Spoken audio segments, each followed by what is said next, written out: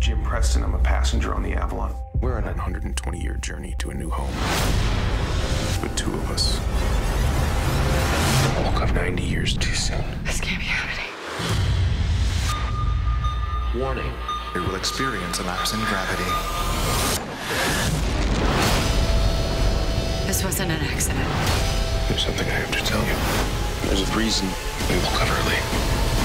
Passengers.